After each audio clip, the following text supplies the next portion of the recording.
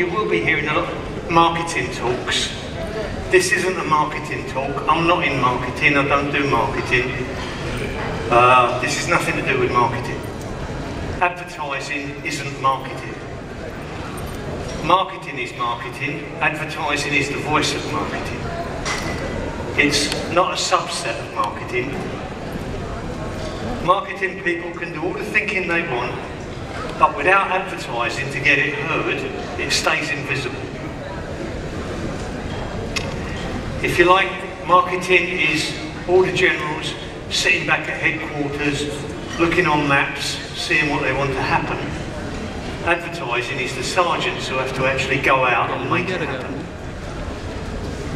There are, just so you know, क्योंकि फिर वो एक्चुअली में भी लाइट चालू किया ना ऊपर से पूरा In the UK, 18.3 billion pound is spent every year on all forms of advertising and marketing.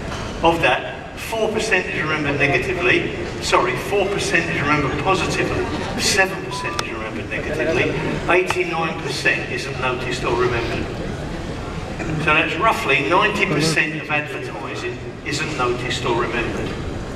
It's ignored.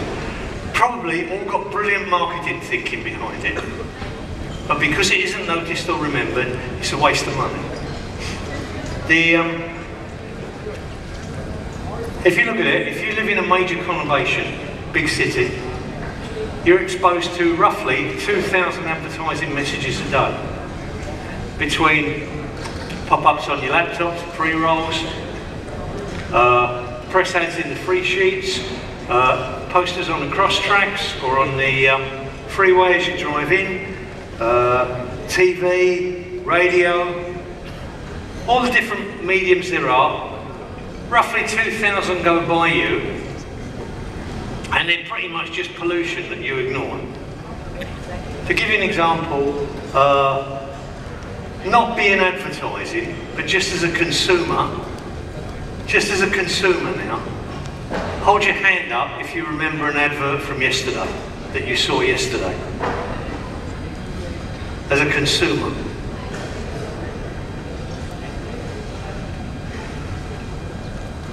Nobody? Nobody remembers a single advert from yesterday that they saw as a consumer. Okay, and what we got here about three or four hundred people? You were each exposed to 2,000 ads. That's 800,000 ads, and you can't remember one. Probably each of those ads had brilliant marketing thinking behind them.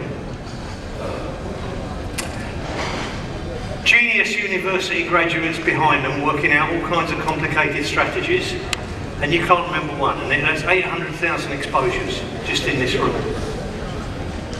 So, why is that? It's because stupid people think complicated is clever, and smart people know simple is what works. But stupid people can't bring themselves to, to be simple because they like to feel clever. And they feel clever by making it complicated. So, I'll give you an example of what I mean. I'm going to show you an old Hollywood film with Bob Hope in. It's a, just an illustration, an analogy of. Um, imagine Bob Hope is a creative person being briefed. He's on his way to a gunfight in this film, but imagine he's being briefed by the client, the strategy guys, the planners, and just see how they brief him. Can you play the first video, please?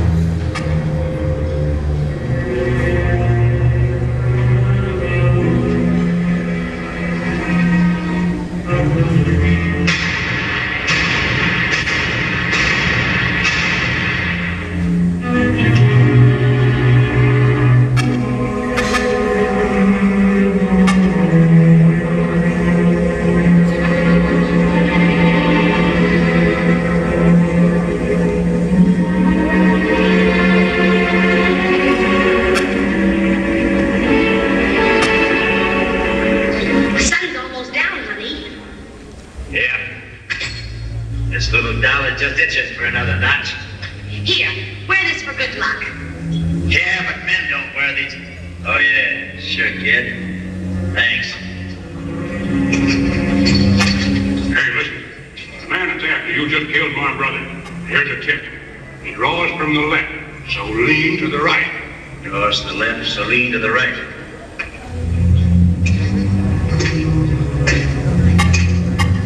Son, I'll let you in on something. Long toward sunset, there's a wind from the east.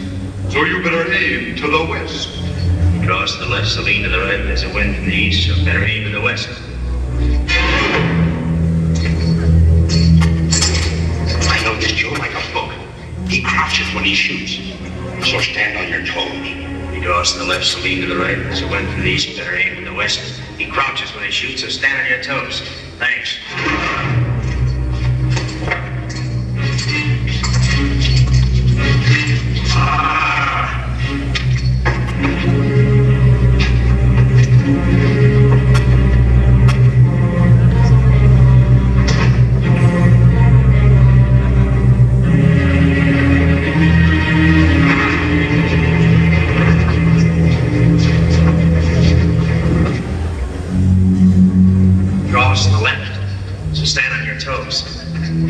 Wind from the east, better lean to the right. Crouches when he shoots, better aim to the west. Draws his toes, so lean towards the wind. Aha, I got it.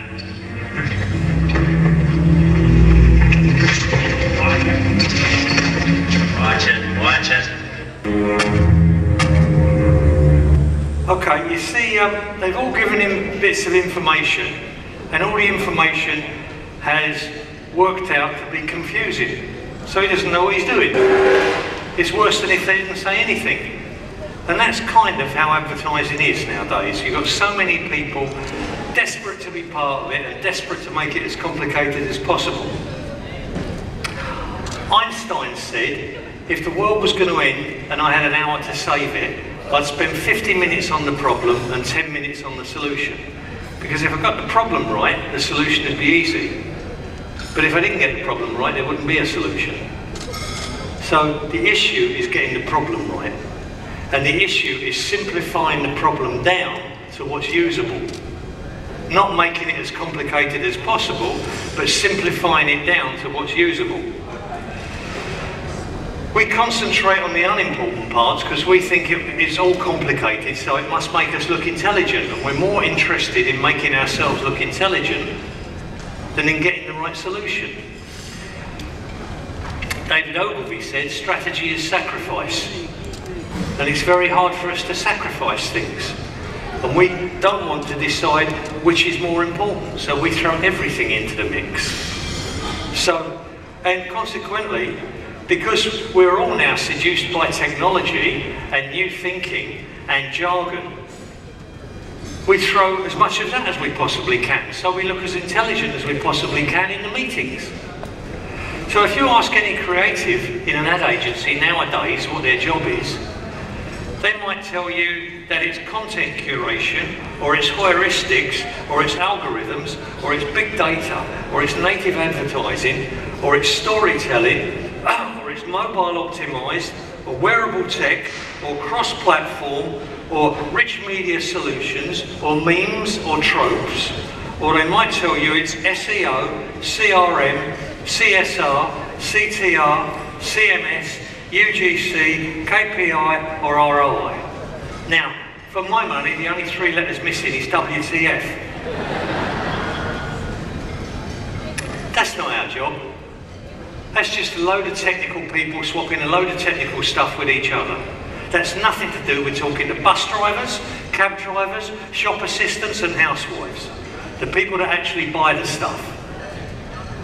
Which is that's talking to a very little margin of people that like to impress each other with long words. we don't understand the media. We don't understand what we're doing. We've lost the thread of getting back to basics. We're so thrilled, so desperate.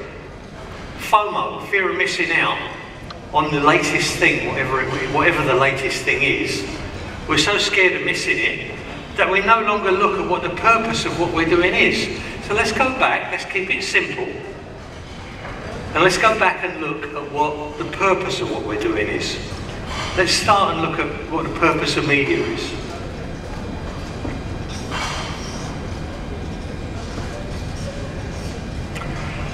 That's the punter, the consumer. We started trying to reach the consumer with cave paintings on the walls at Lascaux 60,000 years ago. Then things changed and we had oil paintings, frescoes in the Renaissance. Then things changed and we had photography. Then it changed again and we had film. Changed again, we had TV. Changed again, and we had digital. Pretty soon it's going to change again to whatever the next thing is that's new and it'll kill everything else and what, life will never be the same and we'll all be getting FOMO again. So it's always changing. Do you notice one thing that isn't always changing? One thing on there that's never changed, one thing on there that never will change. The bloke in the middle. Or the girl, the woman, the person in the middle. The punter, the consumer. That's never changed, and that never will change. That's the actual media. These are just technical different ways of getting to the media. This is where the technicians live. This is the actual media we're after, the mind. If you know anything about behavioral economics, you know it's described as human understanding for business advantage. So you aren't going to get any business advantage unless you have human understanding. Bill Bernbach said our proper area of study is simple, timeless human truths simple, timeless human truths that apply to all races, all ages, all sexes, all religions, all everybody, everywhere. That's our proper area of study. That's the media. And we might use digital to get there. We might use photos to get there. We might use TV. We might use press. We might use anything to get there. We'll decide that when we decide how we want to occupy that ground. But that's our media, the human mind. Good ideas live there and they go viral there. How we buy space in that is with good ideas, not with technology. This is just a delivery system. We all know the numbers. Every hour, 23 hours are downloaded onto YouTube, and 22 hours, 59 minutes is never seen again. So most of what's on YouTube is complete rubbish, never seen again. The good ideas are what gets taken off and goes viral. Because the good ideas, he passes it on to her, who passes it on to her, who passes it on to him, who passes it on to him, and that's how it goes viral. It goes viral mind to mind to mind to mind. And whatever device is available for passing it on, that's what they'll use. When a client says to me, I want some viral media, you have to tell them there's no such thing. There's viral ideas, but there's no such thing as viral media. David Abbott said, shit that arrives at the speed of light is still shit when it gets there. Doesn't matter what technology it gets by, if it's rubbish, it dies. What you want is something, why we want things to go viral is it's free media. If I can, if I can create people talking about it, I've turned a £5 million account into a £25 million account.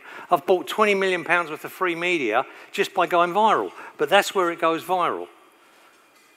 Not here. This is just technology. I'll give you an example of um, what I mean. This is uh, a song that plays on ice cream trucks all over the UK. See if you recognise it. Can you play the second video, please? Never mind the pictures, just the music.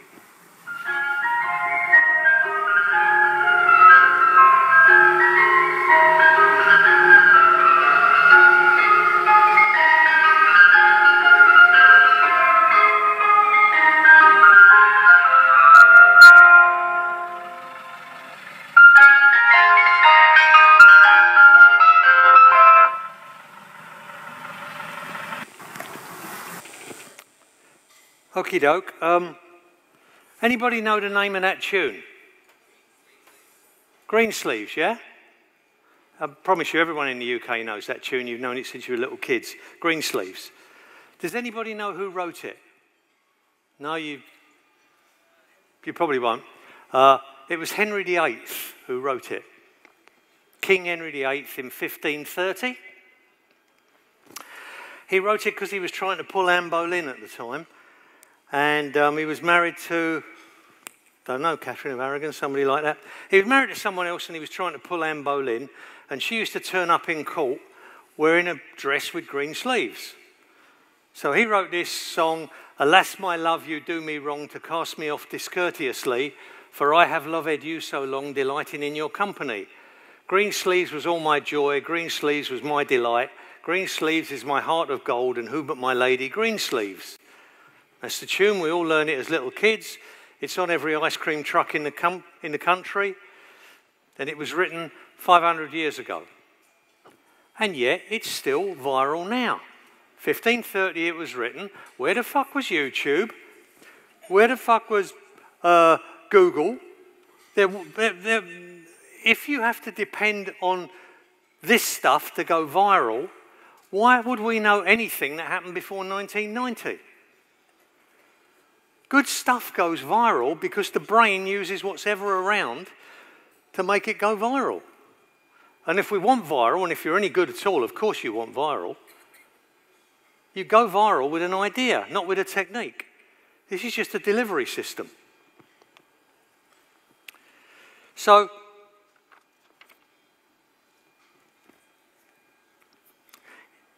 this is where we want it to go viral in the human mind. We need to know how that works, how that's going to work for us. And we need to keep it simple because I'm in the creative department, not in the complicated department.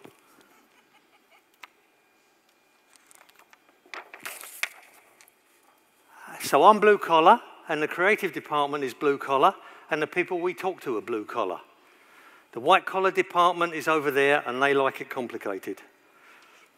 In the blue collar department, we like it simple. And Here's how, here's how it works in the simple department. Here's how the mind works when we're talking to ordinary human beings. You know this, this is nothing you didn't know. It's just put down so it's easy to talk about. This is a conversation, every conversation from the time you're born till the time you die. Got to have three elements, and it's got to work this way round. And the three elements have got to be impact,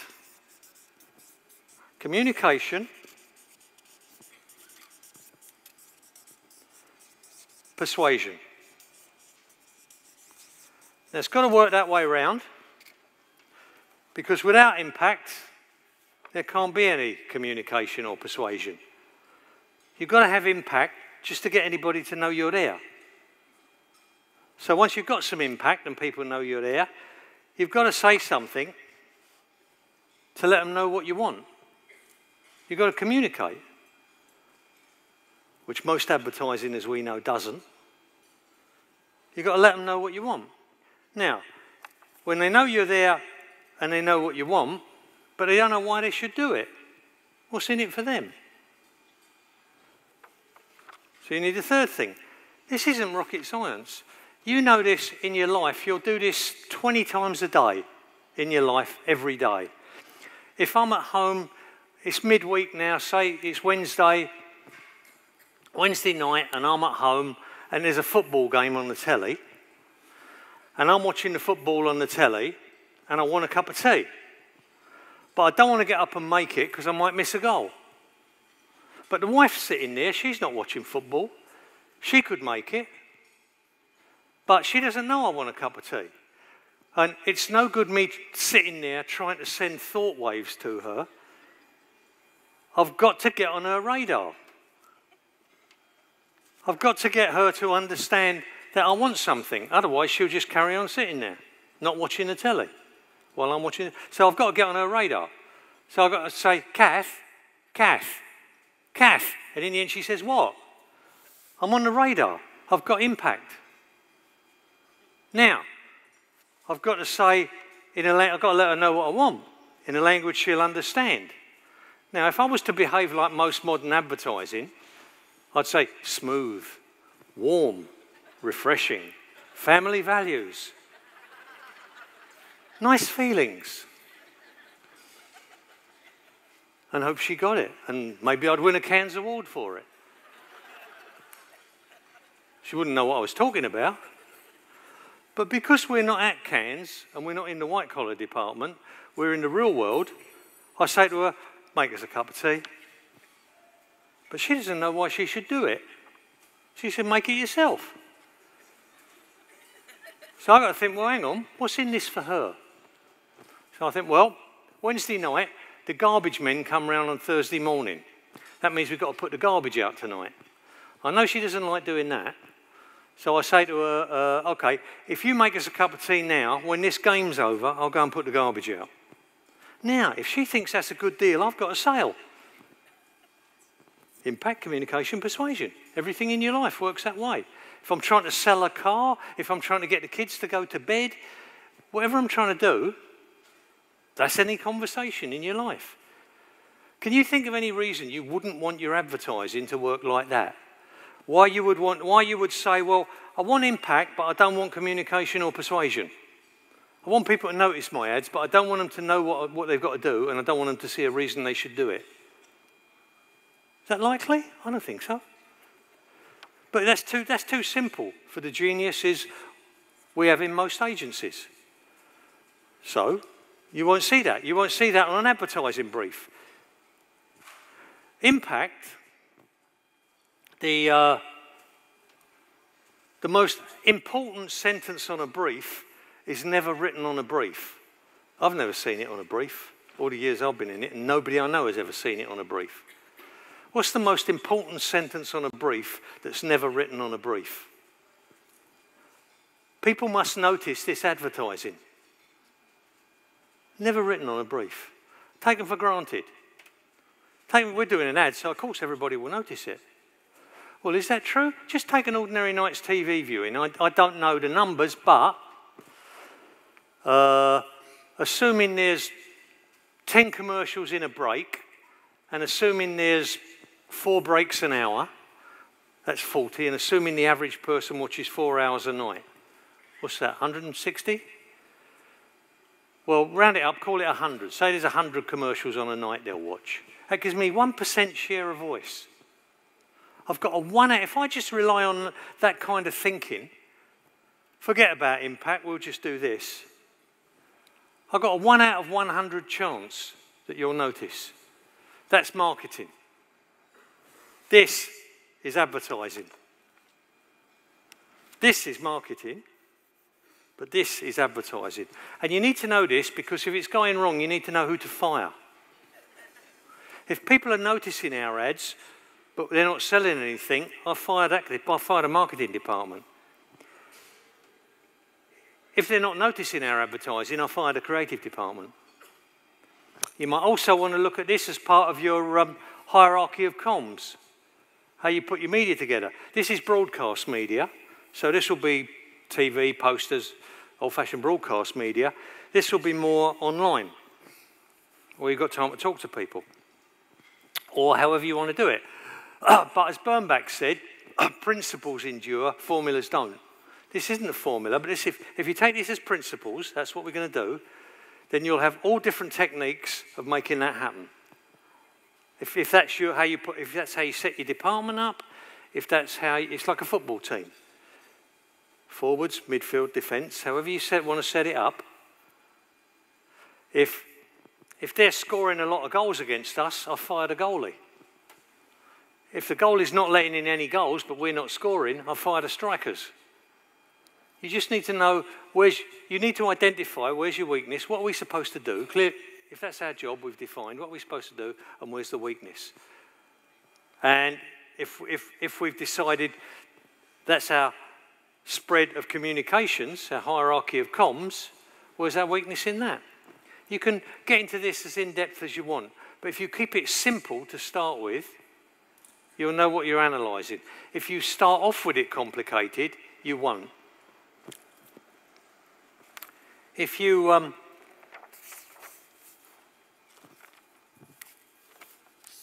thing I learned from economics was uh, diminishing marginal returns. In all circumstances, it works like that. Uh, This is, uh, hmm, I think that's effort and that's return, or that's effort. No, that's effort and that's return. Everything works on a parabolic curve. So if you put uh, this part of the process, you're putting in that much effort for that much return. That's a good deal. This part of the process, you're putting in that much effort for that much return. You're putting in two or three times the effort for a quarter of the return.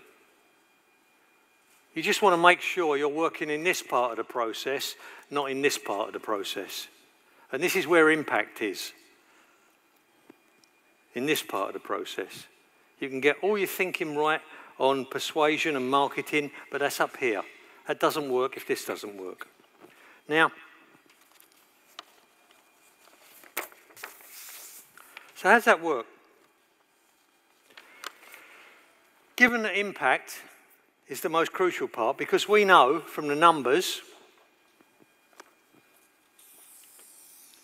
4% is remembered positively, 7% is remembered negatively, 89% isn't noticed or remembered. Yeah? 89% fails here. Creative department's failing here. It's not even getting down to here. 89% in the UK, that's 17 billion quid failing there. So if impact is what's wrong, how's that work? Okay. First thing we need to do is look at impact. So I'll give you um,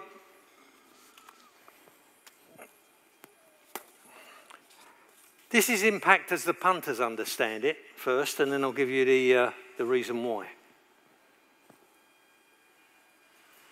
Is this coming up on the screen or not? Yeah? Good. Imagine this is a commercial break. We'll keep it really crude. That's the first, well, That's the first commercial.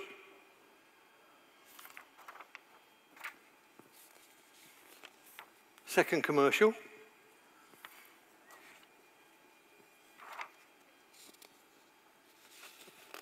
Third commercial. Fourth commercial. Fifth commercial. Sixth commercial. Seventh commercial. Now the break's over. We carry on watching the program and we go to bed. Next, next day we get up and we go to the supermarket. Which one of those commercials is more likely to have survived the erosion process? It's not, it's not hard work, is it? Any bus driver, any cab driver, any housewife, any shop assistant could tell you that. So, where we should be, if here's our commercial break, the commercial, the conversation in the average creative department will be, which commercial should we, what, what should we be doing? Should we be doing this commercial, which Ridley Scott shot? Or should we be doing this commercial, which won at Cannes last year? Or should we be doing this commercial, which was shot by a hot new Swedish director? Or should we be doing this commercial, which has got an interesting new technique they found on YouTube? Or should we be doing this commercial, which Campaign wrote a nice review of? Or should we be copying this commercial?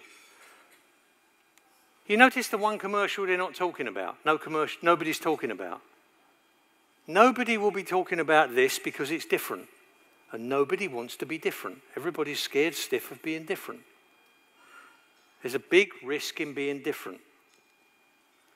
Steve Jobs said, Why would you want to join a Navy when you could be a pirate? This is the Navy, and this is the pirate. There's no agreement for being the pirate. Nobody will like the pirate. Everybody sneers at the pirate. But you know what? The pirate works. Why does that work? It's the software your mind works on. It's called Gestalt.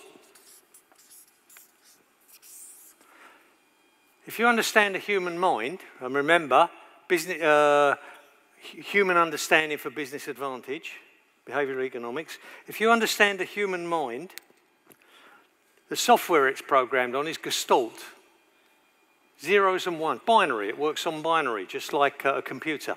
So it works really fast. If you've got, if you've got any children, it, the mind groups everything really fast. Nowadays, it's, it's happened so fast you don't even notice it. But if you've got any children, when they're born, they're in a state that Freud calls id, ID. And what that means is they're not even aware that they, all they are is awareness. Everything is everything. Gradually, if you've got any children, you watch them. They put everything in their mouth their fingers, their toes, their cot, their toys, their blanket, they bite everything. Gradually, their mind programs itself that if it hurts, it's me. If it doesn't hurt, it's not me. They program themselves into the state of ego, meaning I am, separate to the world. They program themselves to learn that there's a them that's separate to everything else. So I can move this, but I can't move that. Yeah? But it's binary. And that's how the world works. That's how our minds work. Really, really fast, binary. Up, down, in, out, left, right, hot, cold, black, white. Really, really fast. So fast we don't even notice it. Like a computer, binary is always the fastest way to go. Now, what use is that to us? We group things. If I do that, how many digits did I hold up? Ten. How'd you do that? You didn't have time to go one, two, three, four, five, six. What you did is two hands, five, five on each, two fives is ten. Your mind groups things really fast. If what use is that to us? Here's the human mind, and there's 19 commercials in it. Two, six, eight, ten.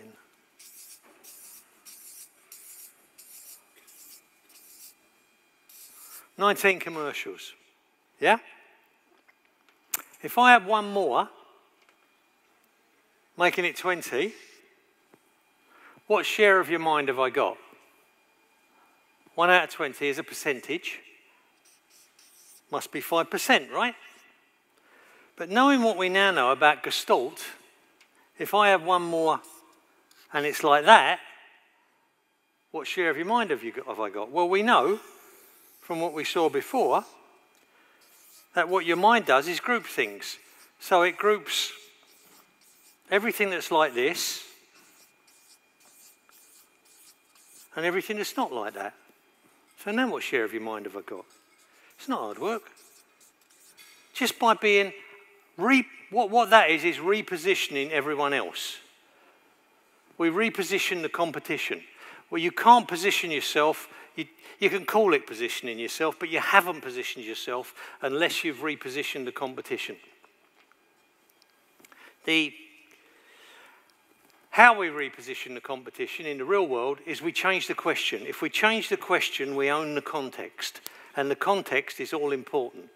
If we're going to be that, we can't be that by being another one of those. We can't just carry on pretending we're that and calling us, which what most advertising does. They write on their website that we believe in creativity, and then they see a whole load of ads that are exactly the same crap as everybody else. You call yourself that, but you actually are that. You say you're a pirate, but you're actually in the Navy. You're frightened to be a pirate. If you really want to do this, and that takes a lot of guts, you have to to own, the, to own the context, you have to own the question, change the question. I'll give you, for instance, uh, any Americans in the room? Okay, okay, you can't answer this. You, you know the answer. Okay. Let me ask clients if you really want to reposition, go back and look through. Well, tomorrow, I've got to talk tomorrow, and we'll talk about how you do that uh, uh, and the people who've done that bravely people like Apple, when you really reposition the competition, Apple or Nike, you do something really brave to reposition the competition, not just pretending a little clever line. that only other advertising people will understand. If you really reposition the competition, then you do what Barack Obama did. And incidentally, what, what Donald Trump did. If you really reposition the competition, if you're really brave enough to do it. Uh, so, the other thing I'll tell you, last thing I'll tell you about going viral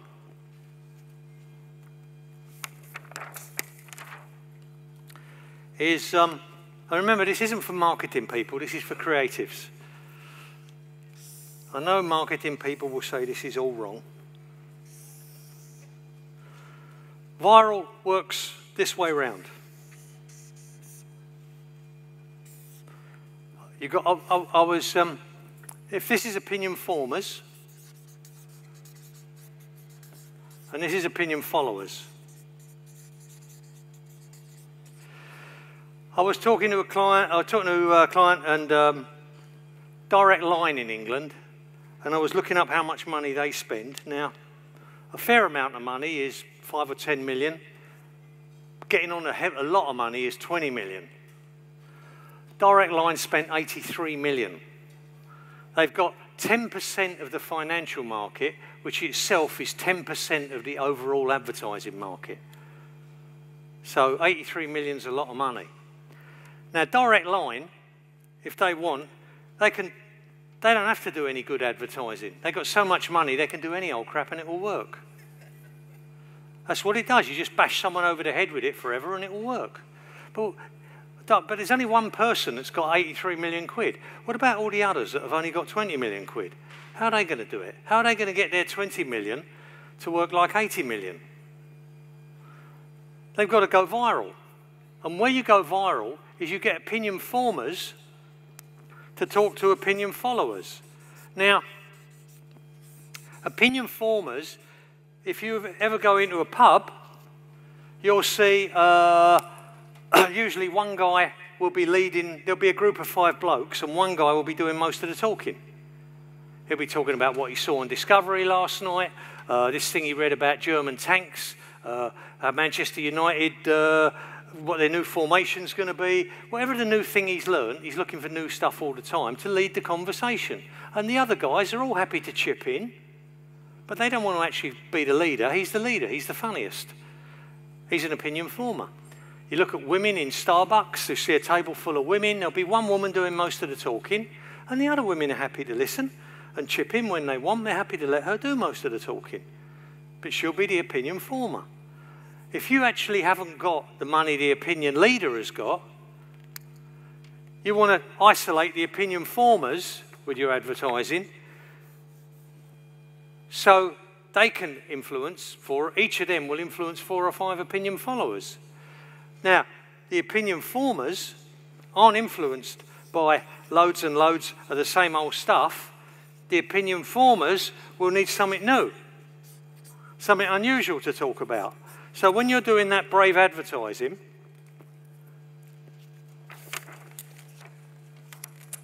it works to go viral with opinion formers.